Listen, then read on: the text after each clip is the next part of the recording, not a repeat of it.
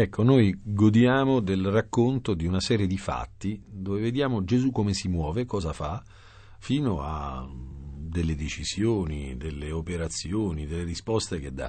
Per cui ci possiamo un po' godere mm, la, la sua strategia.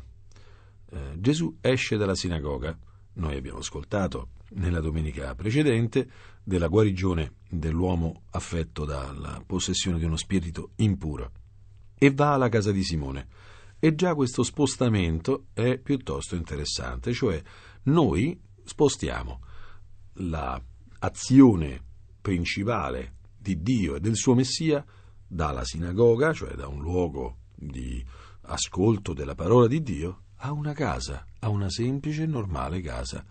Lo spostamento dalla sinagoga alla casa è uno spostamento storico è un movimento che corrisponderà proprio a, all'avvento del cristianesimo, all'uscita dal Tempio per andare nella vita reale. Ma questo corrisponde pure al fatto che Gesù sta cercando di entrare in casa nostra. Va nella casa di Simone, va nella casa di noi cristiani, dove lui deve fare delle cose. Ormai il campo d'azione, la, la battaglia non è nei luoghi, fra virgolette, sacri, ma a casa nostra. Cioè, noi siamo chiamati a vivere l'incontro con Gesù non su alture strane o in santuari solamente. Certamente in questi posti si incontra il Dio, si può pregare, si può fare forse con più concentrazione, qualcosa che però non resta là dentro, anzi deve uscire da là dentro.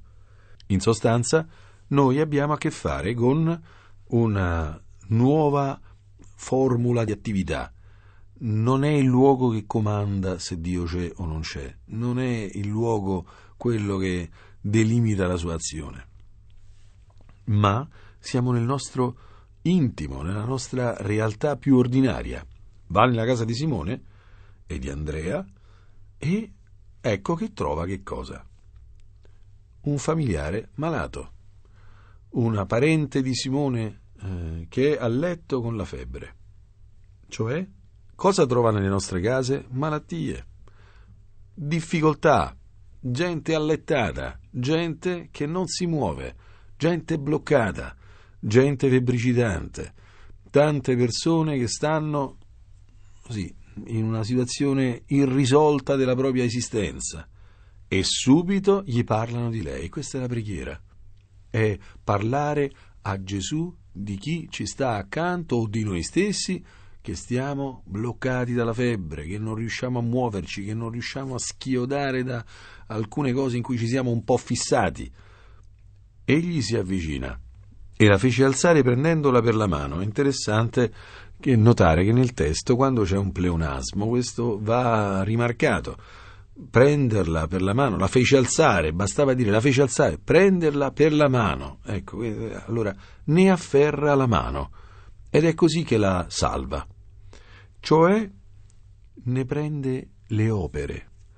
Noi non guariamo tante volte perché non ci facciamo prendere la mano da Gesù che ci deve prendere la mano. Questa è, un, è un'espressione che in italiano significa eh, finire per fare quello che l'altro vuole. Mi hai preso la mano, mi sono lasciato prendere la mano e facciamoci prendere la mano da Gesù Cristo. Facciamo un po' quello che vuole Lui. Non c'è niente da fare, non si guarisce finché non si prova un attimino ad obbedire, farsi prendere la mano, non si fermano le proprie opere nelle mani di Gesù finché lui non ce le prende le nostre opere, ecco noi stiamo lì con sta febbretta che non se ne va mai. La febbre la lasciò ed ella gli serviva. Il punto è che che lei gli servisse era pleonastico, bastava dire la febbre la lasciò. Allora che gli servisse era lo scopo di questa azione. Perché? Perché di fatto chi è il guarito? Chi è che sta bene? Chi sa servire? Chi sa prendersi cura di qualcun altro? Perché questo mondo si divide schematicamente in due tipi di persone, quelli che hanno bisogno di cure e quelli che curano. Quelli che con la loro vita diventano un pozzo senza fondo di richieste, di bisogni, di appetiti affettivi, relazionali e quelli che finalmente sono guariti, quindi possono occuparsi degli altri e non sono più pozzi ma sorgenti, non sono più luoghi dove si fagocita la vita, ma luoghi dove scaturisce la vita, si diviene sorgenti di esistenza e si può dare. Ecco che questa donna prima doveva essere curata, adesso si prende cura. Che bella cosa, che bella immagine, che cosa meravigliosa. Tutti quanti noi stiamo bene quando serviamo qualcuno. Tutti quanti noi stiamo bene quando ci occupiamo di qualcuno. L'uomo è chiamato alla paternità e alla maternità. Questa donna, che era una suocera, ovvero sia, era una, una, una madre esperta, adulta, capace di servizi, non era più capace. Questa è la nostra generazione, una generazione dove, peraltro, gli anziani stanno prendendo un ruolo un po' così, un po' vanesio, senza profondità. Ci sono tanti anziani che passano la vita a fare insulsaggini, a fare cose da quattro soldi, uno cerca ma dove sta nonna e nonna sta facendo il corso di salsa, sta facendo non si sa che, che stupidaggine, sta appresso, a, a, a, sta telefonando sei ore al giorno, gente che non sa più servire.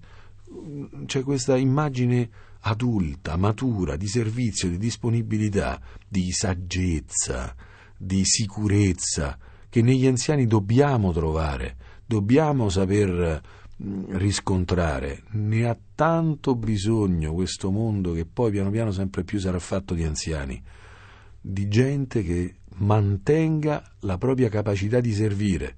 Di fatto è reale che quando è che uno si sente un fallito, quando non serve a nessuno, quando si sente inutile. Ed è questo uno dei problemi anche degli anziani, sentirsi senza grossa utilità, sentire che nessuno ha bisogno di me, allora mi sento veramente fallito. Allora vuol dire che servire è importante.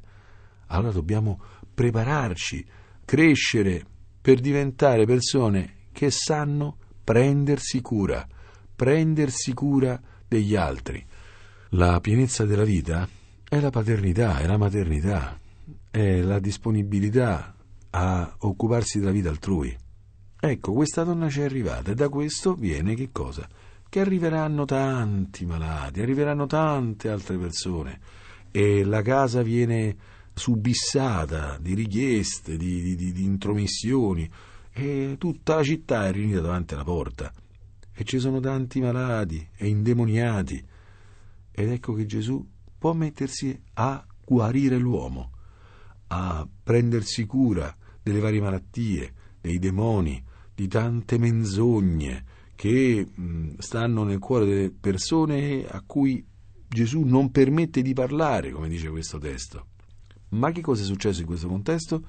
Che Gesù ha avuto esito, ha avuto successo, è riuscito a fare una cosa meravigliosa. Tutti gli vogliono bene adesso.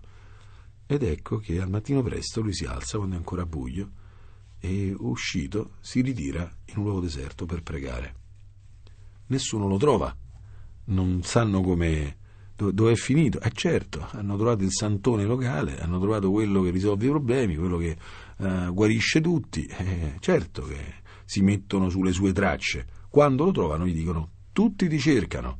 Ecco perché Gesù prega in questo caso qua. Noi dobbiamo registrare che Gesù appare in preghiera sempre nei momenti fondamentali della sua missione e normalmente quando è tentato. È in preghiera nel deserto, è in preghiera al Getsemani, è in preghiera prima di eleggere i dodici, è in preghiera quando viene cercato per essere fatto re. Quando la sua storia può prendere una direzione sbagliata, quando lui deve essere fedele al piano di Dio, ecco che Gesù è unito al Padre nella preghiera e lui va a pregare. E in questa parola di Pietro risulta patente la tentazione tutti ti cercano. Hai avuto successo, ce l'hai fatta, sei importante. Non sei più un oscuro carpentiere di Galilea. Eh, ma qui eh, arriveranno in tanti a cercarti. Ed egli disse loro: Andiamocene, via.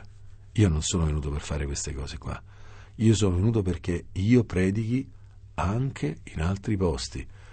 Una volta che aveva raggiunto un grande successo, si sottrae a questo successo e parte perché dice per questo sono venuto. Lui non è venuto per fare la sua volontà, ma la volontà del Padre. È venuto per compiere una missione meravigliosa. Anche noi dobbiamo saperci guardare molto dalla tentazione del successo, dalla tentazione di stare solamente nelle cose che funzionano e non affrontare più le sfide che la vita ci chiama ad affrontare, a non installarci, a essere capaci di essere stanati dal bene che possiamo fare.